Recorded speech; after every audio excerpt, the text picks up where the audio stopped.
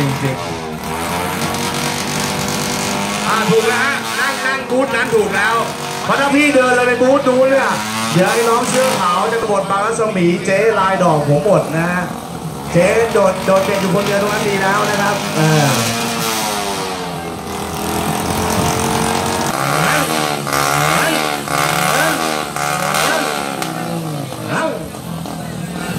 เอามาณนี้ครับ เอาเนี่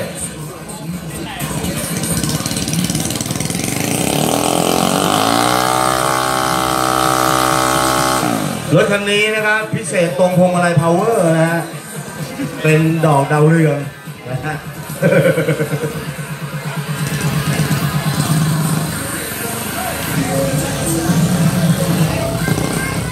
ตัวขี่ก็